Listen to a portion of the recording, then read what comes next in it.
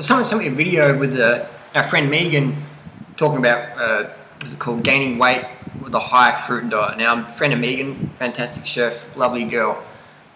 Where Megan is right now is where I used to be a few years ago. People would send me emails like, "I'm gaining weight on fruit," and I'm like, "Oh wow, like, oh, what's going on here?" You know. And I was like, "Wow, you can get fat on fruit." I used to believe that. I used to totally believe it. And I remember some good friends of mine were going, "Man, I'm just gaining all this weight," and I'm like, "Fuck." Like maybe you need to eat less. I don't know, man. Maybe it's the sugar. And then their family or their partner or their children would say, yeah, you know, mum's eating heaps of chocolate bars or dad's, you know, he's still eating KFC occasionally with his mates at the footy or still drinking heaps of beer or, you know, slapping on heaps of olive oil and stuff like that. And the truth soon came out that people weren't doing what they said they were doing, which is fine, you know, like I know when I used to work in the bike shop, people would come in with a broken bike part and say, I was just riding along and it just failed on me. It was called the JRA. It was just riding along and it failed on me. Like I remember one time a guy would come in a broken Cannondale mountain bike and this particular frame was just like indestructible, but he snapped it. And I'm just like, we're like, how the fuck did he snap it? Like, oh, I couldn't get over it.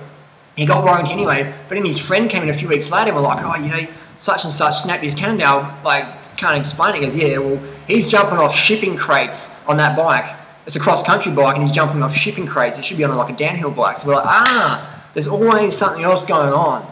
Okay. There's always something else coming on. It doesn't make people bad people. Okay, so if someone's gaining weight on fruit, first of all, we've got to specify what does the weight gain objective mean.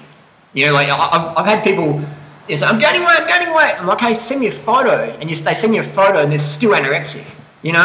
Or they're like anorexic and they've just got poor posture and they're bloated and they're thinking they're getting fat versus they've got no stomach muscles. They've got like weak transverse abdominis and they've just got no posture check out the video I did with Freelee recently where we made Freelee look fat and then then she did correct posture and two seconds later looked amazing. So posture is a big one.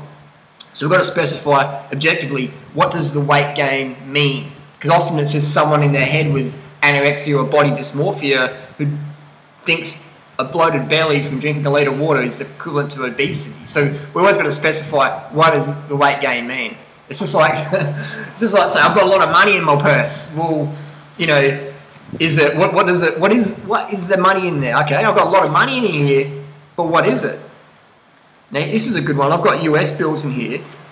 Now this is a lot of money, but you can't see what it is, can you? You can see it's a lot of money. That could be maybe twenty bucks, or it could be because it's hundred dollar bills, you know, and fifties it's two thousand dollars, but that could look like twenty bucks in the US, the one dollar bills. Yeah, so you always got to be objective. I'm gaining weight. I'm gaining weight. Was it fat? Is it just got you got bad posture?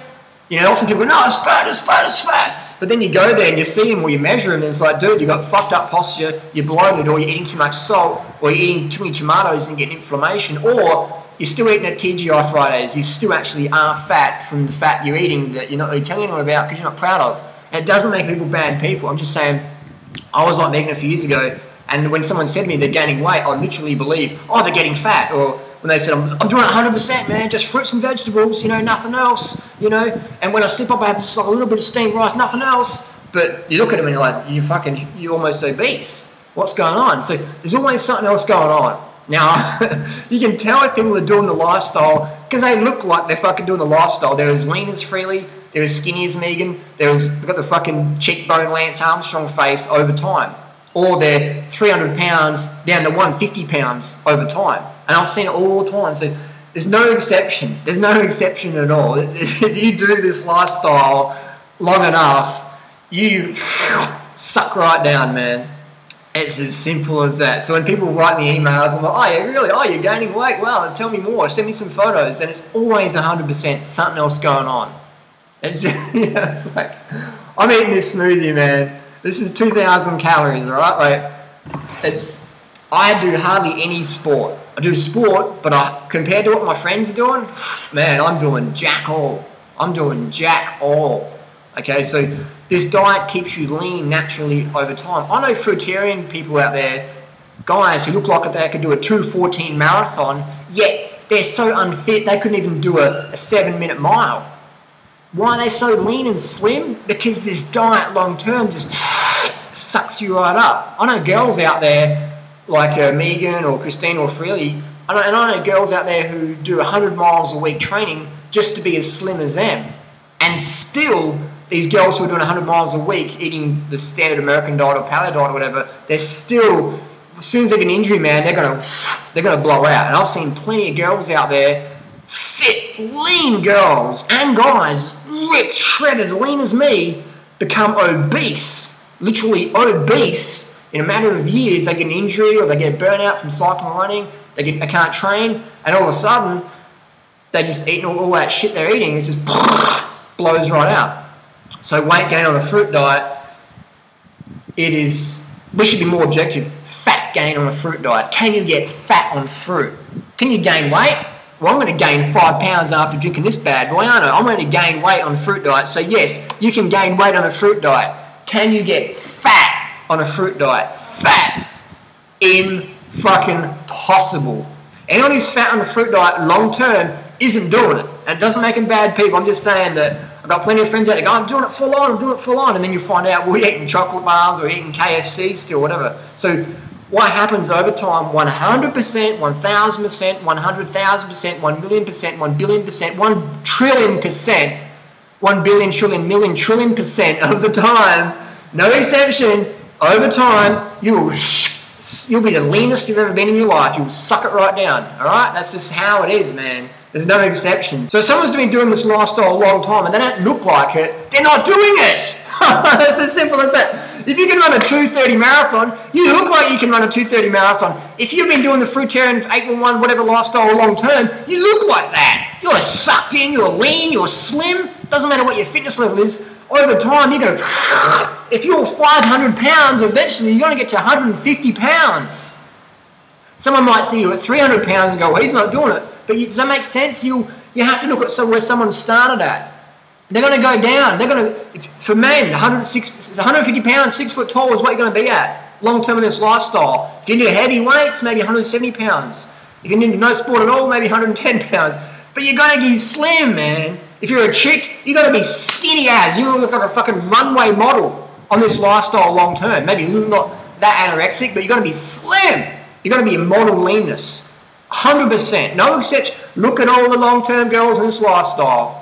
You know, even the girls who've lost 150 pounds, eventually they're going to still, they're going to go down and down, down to 100 pounds, 110 pounds, 120 pounds. They're going to get there eventually. You might see them go, oh, this person's still bit big. Yeah, they've fucking lost 150 pounds. They're not going to look like magic overnight, but it's over time it's going to get there. It's just like if I go to Kenya today and train with the best coaches in the world, then it's going to take me still four years to get really up there. It's not going to happen like overnight or in a week or a month or a year. It depends where someone's starting from. So we've got to be objective, all right? And then you've got people with anorexia, eating disorders. When they write to you, they go, "Oh, gaining weight." So you've got, you know, like you your body dysmorphia is just you're lying to people, or you just you got some illness going on. You need help, and but you're not really showing telling people the truth. And so people go, oh, oh, oh. so I not make fun of anyone, but you really got to be objective. When someone says something to you and it's blatantly fucking a lie, and you can tell, then you got to call them out. You got to say, well, you're not doing it, man. You're not doing it. So if you can eat 2,000 calories a day, that's fine. Do that. Me, 2,000 calories a day. I won't have any sex drive. I won't do no YouTube videos. I'll do a YouTube video once a week, once a month, maybe. I wouldn't be able to do shit. I wouldn't be able to win nothing. I wouldn't be able to be who I want to be on 2,000 calories a day. like, some people tell me I should be eating 1,000 calories a day.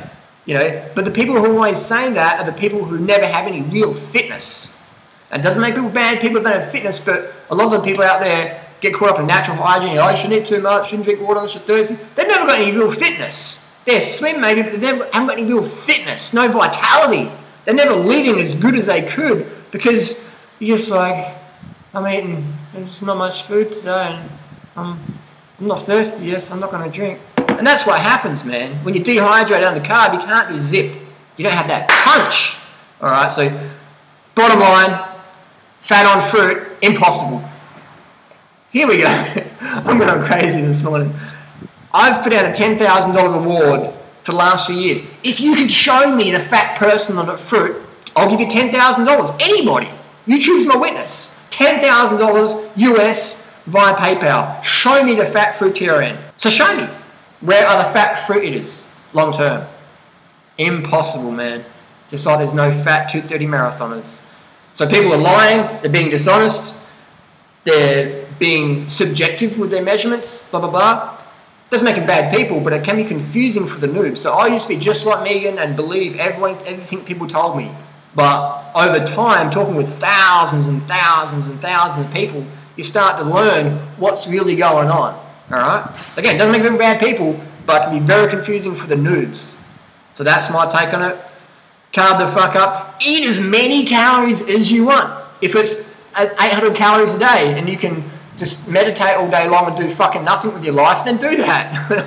and have just be not just not just laying in bed wasting air. Do that if you can do that. I can't do that. I want to change the world. I want to be out there. For me, three and a half thousand calories minimum. So find what you need to perform at your best mentally and physically.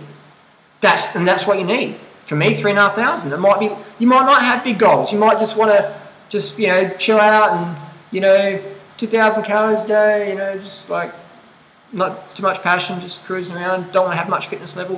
Whatever. So we promote three thousand calories a day. Eat as much as you want though. If you want to eat ten thousand calories a day, do that. If you can get away with two thousand calories a day, maybe you can do that too. Maybe if you're 100, maybe if you're 80 pounds and you just live on like a meditation retreat, you don't talk, you don't deal with anybody, you don't have any stress in your life, you don't have any children, you don't have any aspirations, and you can get away with 2,000 calories a day, do that. Whatever you can eat, do it. Eat as much as you want. The bottom line, eat unlimited carbohydrate, fructose, sugary calories from fruit. Unlimited.